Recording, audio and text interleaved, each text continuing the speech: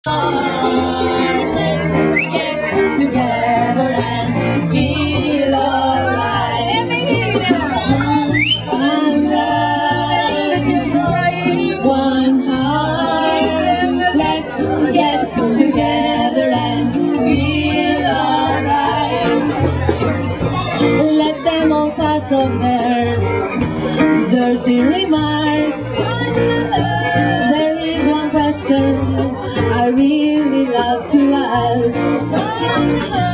Is there a place for the hopeless sinner who has hurt